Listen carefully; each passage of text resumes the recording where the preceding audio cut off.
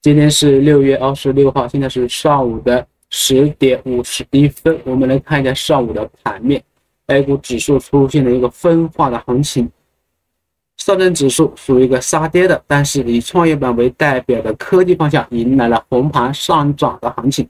那在这种环境下，我们到底该怎么做？创业板能否企稳呢？科技板块回暖是不是预示着题材又该回归了？这个方向能不能抄底呢？还有就是刚刚我看了一下权重板块出现轮番异动护盘，那么接下来底部是不是就在这个区间？怎么看？带着这些问题，我们就盘面做一个分析。讲之前评论区一波八八支持一下，觉得我讲的有理的点赞加关注。其实从市场的反应来看，A 股还是很弱的。经过了昨天的下跌啊，到今天已经出现六零阴。那么目前的这个六零阴到底该怎么看呢？从市场的个股来看，啊，涨的两千二百多家，跌的两千七百多家，目前是涨的少，跌的多，还是市场是属于一个弱势的周期。但是大家知道，我昨天跟他说过，这个位置是一定要跟紧的，一定要守住的。昨天说这个位置啊，就是二九五零这个附近啊，要是守不住的话，会出现大问题啊。会加速下跌，那你看今天的这个大权重方向是吧？银行也好，证券也好，包括这个中字头啊啊，包括北酒啊，这些都是属于异动，说明什么？说明我们的国家队在护盘，在在出手，但是明显的没有资金跟风啊，国家队是独木难支。在这种环境下，我们的指数啊，何时企稳还真不好说啊。所以刚刚又打了一个二九三五的低点。昨天也是二九三五，对不对？那么在这个位置就尤为关键的，就是一个多空的决战，就在这里了。到底多方胜出还是空方胜出？目前来看，空方是占有一定的优势的，所以我觉得大家还是在保持理性，保持谨慎，尤其是在追高的过程中，尤其今天啊，比如说啊，一些方向突然冲高了，拉高了，我觉得大家还是考虑，是吧？考虑不要去追啊。但是有些急跌的、急杀的。可以搏一下，搏个反抽，或者说搏个日内的 T 加零，倒是可以的。我说 T 加零什么意思呢？就是你本身有底仓，你看它突然做急跌了，那我在下面加笔仓，你看它反弹又拉起来，我就把底仓或者说把我加仓的这一部分先出掉，做个日内的这一个呃这个 T 加 T 加零啊，这个节奏这个策略我觉得倒是可以的。但是你没有这个能力的，没有这个水平的，我觉得大家还是多看少动。好，从市场反应来看，A 股这个。呃，这个反弹的迹象是越来越明显。其实啊，从市场目前的这个热度来看啊，它是缺失的啊，它是差的比较多。我跟大家讲的很清楚，A 股能不能出现大反，出现大的上涨，关键什么呢？关键是看证券板块能不能动，证券板块能不能起。所以这是一个非常关键的。那从目前来看，证券板块表现只能说一般。所以二九三五这个位置啊，我倒是觉得它很难守得住啊。那二九三五守不住的话，那接下来怎么办？其实，啊，如果出现急跌了，杀下去以后，以后再来一个探底回升，来一个大的一个长下影线，那反而更好，说明这个底部越来越扎实，这是大家需要注意的。好，留意的重点是证券能否出现大幅度的放量进攻。如果它出现大幅度放量进攻的话，哎，那它底部就真正确立。如果没有出现大幅度的一个放量进攻的话，很难，对吧？出现这个止跌企稳的动作，这是大家需要留意的一个细节啊。这很多人问我抄底该怎么抄啊？其实我觉得大家现在可以轻指数、中个股，指数已经没有意义了。指数对我们股民现在来说就是一个什么？就是一个心理关口，对不对？三千点跌破以后，底在何方？大家心里都没底了。所以啊，像证券像这种的话啊，我觉得大家还是什么？是以什么？以潜伏低吸为主啊。切莫切记去轻易的去接啊，或者说追高的话更不靠谱。如果你接的话啊，去追高的话，我觉得你家里就算有矿也不行，这是大家需要注意的。好，那回到这个盘面，大权重方向都不太都不太好啊，包括这个银行啊、北酒啊这些都不太好。那这种情况怎么理解？其实你要去参与的话，只有参与什么各大板块的核心龙头啊。就比如说中字头的核心龙头啊，比如说这个电力的核心龙头，我觉得只能参与这些，其他的一律不要去轻易的去跟踪了啊。还有就是大涨、涨幅巨大的也不要去也不要去接了啊，这是大家需要特别注意的。好，那我们回到今天的盘面，今天市场的重点并不是我讲的那些啊权重方向，市场重点主要集中在哪里？大家应该都知道，集中在呃科技这一块。你看今天表现比较好的就是是文森视频，还有这个什么 AR 语料啊，互联网、互联网这个保险、传媒等等这些。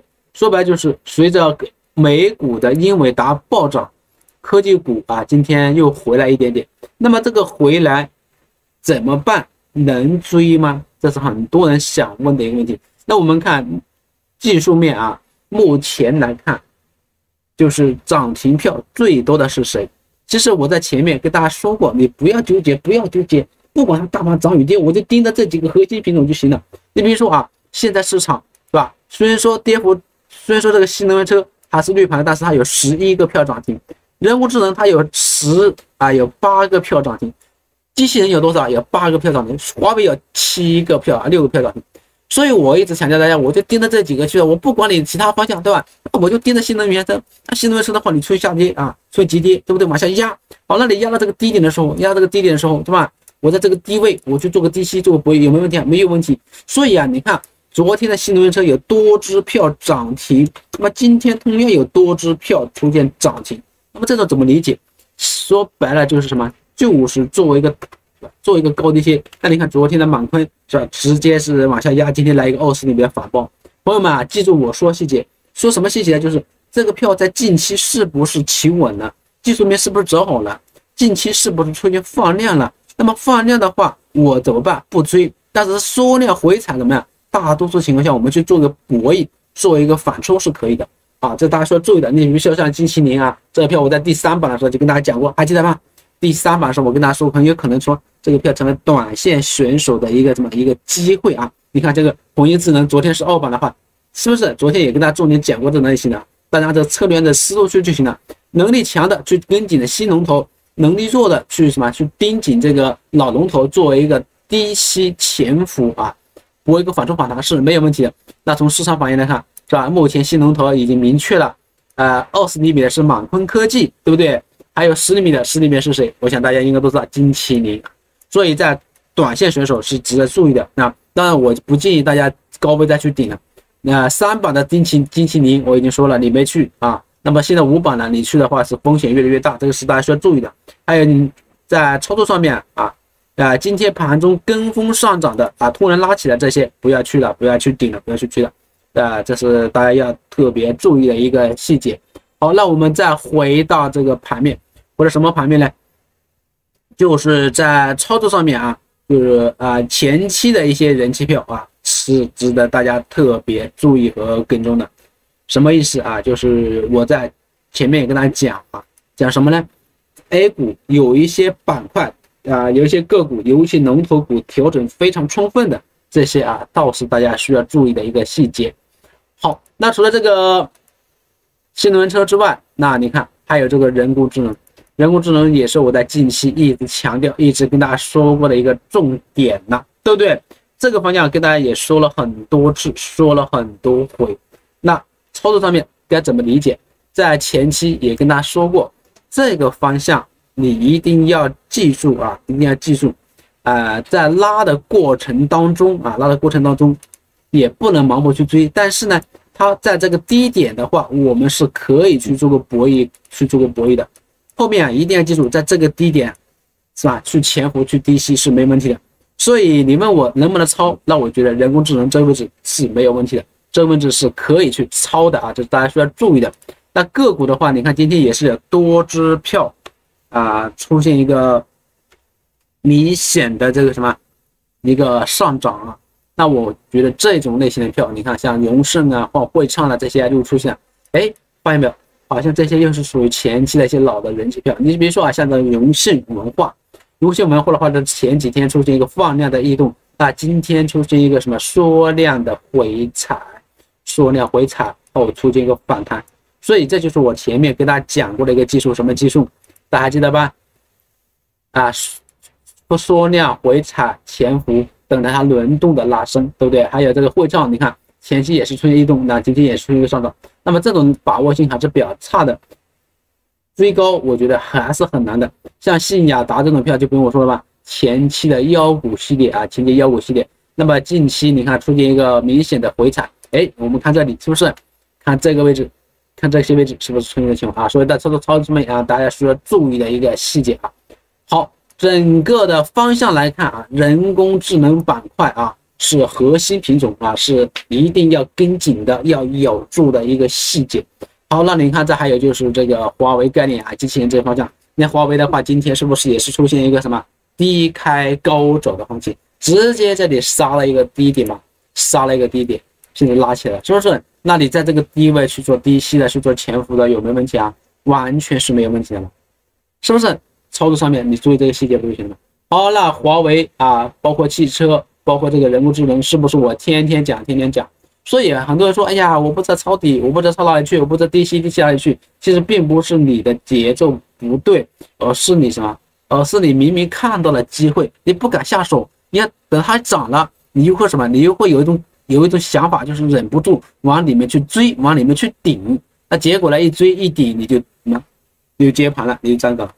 大多数人就是这样一种情况啊。这在操作上面是特别要注意的，要留意的。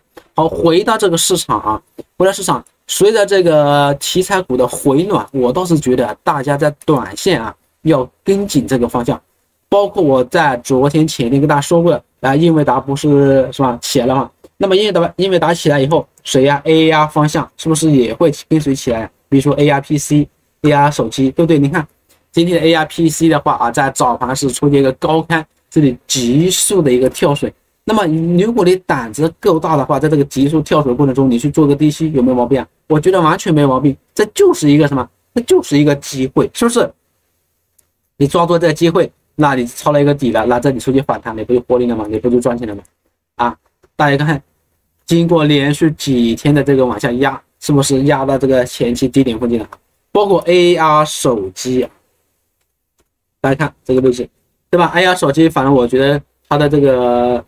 优势更加明显，因为它位置比较低啊，位置特别特别的低，对不对？那这里的话就给了大家一个一个比较好的一个预期，比较好的一个上车的一个机会啊。在操作上面啊，朋友们一定要注意啊。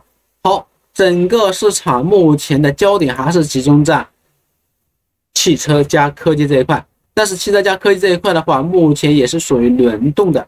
还有就是我们的呃，我们的这个科技是受什么？说外围影响比较大的，所以在操作上面，尤其是追高这一块，还是要保持谨慎和理性。目前市场只是一个超跌反弹，所以你不要以为它反了，我就是去追啊，这个是不靠谱的。至于其他方向啊，目前看不到希望，所以在 这一块还。